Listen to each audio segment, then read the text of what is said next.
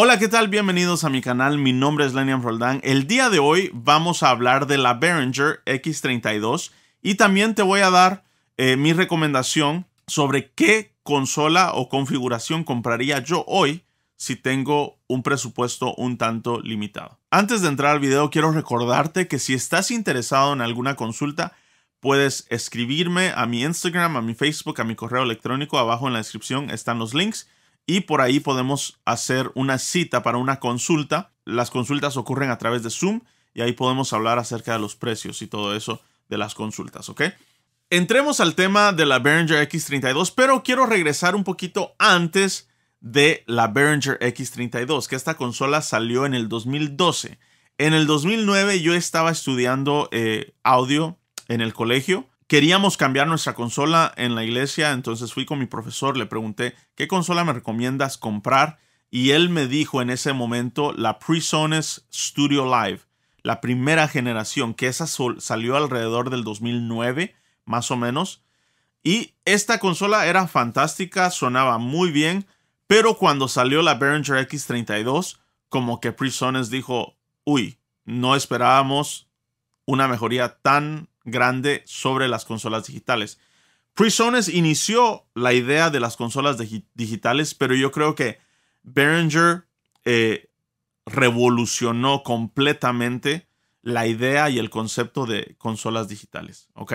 Entonces, si hubiéramos esperado tal vez al 2012, hubiéramos comprado una Behringer. Ahora, te voy a ser sincero, en esta consola X32 me gusta, pero a la vez tampoco no me gusta. Y tal vez en el futuro voy a hacer un video sobre las razones por qué no me gusta esta consola y si tú tienes una tal vez no te va a gustar el video, pero creo que sería un video interesante para el canal de YouTube. Entonces, eh, la X32 a mí me gusta específicamente porque después de 12 años, estamos en el 2024 ahorita, después de 12 años, pienso yo que sigue siendo la consola más económica que puedes comprar, que viene con absolutamente todo lo que puedas necesitar y si estamos hablando de una consola de 32 canales, ¿ok? Ahora, para mí PreSonus está muy cerca de Behringer en cuanto a precio, aunque creo que cuando ya em, entramos a hablar un poquito del ecosistema, eh, sube un poquito el precio de PreSonus y, sale un poquito más caro, pero no es por mucho. Entonces, si tú estás ahí alrededor de ese precio de Behringer y piensas que puedes gastar un poquito más, te recomiendo ver también el ecosistema de PreSonus, ¿ok? Que está bastante interesante también. Entonces, me gusta la Behringer por lo económico. Obvio, lo económico creo que tal vez es la mayor ventaja de Behringer y además de eso viene con todo lo que puedas necesitar. O sea, muy completa la consola, muy, muy, muy completa. Y también eh, viene en diferentes formatos donde tú puedes hacer tu configuración dependiendo lo que quieras gastar. No, no tienes que ir y comprar la X32, puedes comprar la Compact o puedes comprar el rack, ¿ok?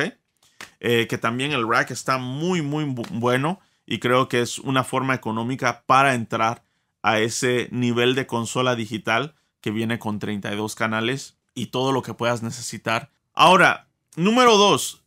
Lo que a mí me gusta de la Behringer también es que ellos tienen todo un ecosistema completo, hablando de snakes digitales, consolas y también monitoreo personal para músicos, que esto es algo que muchas de las compañías que hacen consolas digitales no están haciendo todavía. Si no estoy mal, creo que está Behringer, Allen Heath y PreSonus, ahorita, si no recuerdo mal, que tienen monitoreo personal eh, como una P16, que es la que hace Behringer, donde puede, cada músico puede hacer su mezcla de sobre 16 canales, ¿ok? Las P16 cuestan 300 dólares. Está muy, muy, muy económico, ¿ok? Muy económico. Entonces, esa es la segunda razón por qué me gusta la Behringer X32. Número 3, Creo que el ruteo de la X32 es bastante flexible. Tiene bastantes opciones. Me gusta que viene con dos, creo, talkbacks. Eh, cuando hablamos de la grande, la X32, dos talkbacks. O sea, puedes tener un talkback para los músicos especialmente y otro para eh, las voces. Si quieres hacer una división ahí, muy interesante eso también. Eh, viene con seis auxiliares de entrada y 6 de salida también. Aparte viene con sus 32 canales donde tú puedes ser flexible con los últimos updates que han hecho al, programa de eh, la Behringer. Eh, puedes usar esto que se llama User y ahí tú puedes eh, hacer que tu consola sea mucho más flexible de lo que era hace algún tiempo atrás. Y esto es algo que, que es bueno de Behringer, que ellos han estado haciéndole mejoras o actualizaciones a su programa de la Behringer. Entonces cada vez como que van saliendo con nuevas cosas y esto creo que ha hecho que las Behringer X32 tarden lo que han tardado. O sea, estamos hablando de 12 eh, años. La Studio Live primera generación de PreSonus, ahorita van por la tercera generación y pues la otra ya no se está usando. Entonces, muy buen detalle este de Behringer que ha hecho con el ruteo de la Behringer X32. Aunque te voy a decir, sinceramente, yo creo que el ruteo es de lo peor que hay de Behringer en el sentido de que es muy complejo hacerlo. O sea, no estoy diciendo que, que, esté mal. Puedes hacer un montón de cosas con él, pero es muy complejo, especialmente cuando estás iniciando con consolas digitales. Creo que podrían haberlo hecho un poquito más sencillo, pero aún así creo que es una de las cosas fuertes que tiene la Behringer X32 al día de hoy. Y número 4, eh, una de las cosas que me gusta de Behringer, que no me gusta de Allen Heath, es que después de gastar, eh, si hablamos de Allen Heath, 4 mil, 5 mil dólares en una consola, todavía si quieres ir y, y tener los plugins que ellos eh, venden, tienes que ir y pagar como 500 dólares, si no más, por esos compresores como el 1176, eh, creo que tienen un DBX 160 eh, también, eh, y algunas otras opciones como un ecualizador dinámico, un compresor de multibandas, un de que yo no digo que no valgan la pena, el asunto es que ya estás gastando como 5 mil dólares en una consola para que también tengas que ir y comprar los plugins. Eso no me gusta de Allen Heath.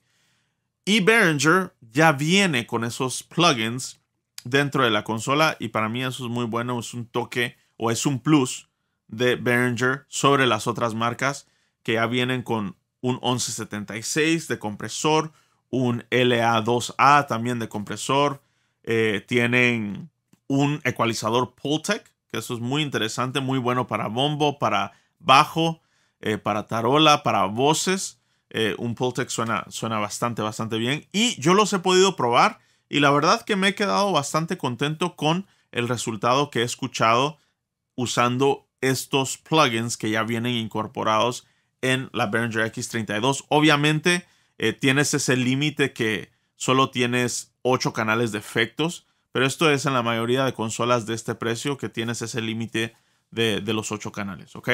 Ahora, si el día de hoy yo te tengo que dar una recomendación y tu presupuesto está por debajo de 4 mil dólares, yo te sigo recomendando la Behringer X32. Es una consola muy, muy eh, completa, demasiado completa. Y si compras la Behringer X32 Rack, la que se puede montar, y una Snake digital de Behringer de 16 canales, ahí vas a tener tus 32 canales entre esas dos, porque el rack solo viene con 16 canales o preamplificadores.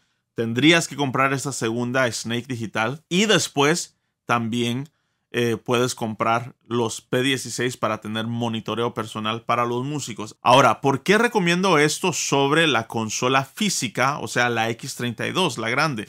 Sencillamente porque si tú tienes la X32, la consola regularmente la ubicas atrás y de todos modos tus conexiones están adelante. Tendrías que comprar una Snake digital o si tienes una Snake análoga, seguir usando una Snake análoga para hacer llegar todos tus canales a la X32. Entonces ahí es donde yo veo que te va a salir más caro si compras una X32 con sus snakes digitales a comprar una, una X32 rack con su snake digital y controlarla desde la aplicación. Y al final, te digo algo, pienso que la aplicación es mucho más fácil de usar con la Behringer X, X32. Eso es todo lo que tengo para ti el día de hoy. Espero que te guste este video y nos vemos en el próximo video.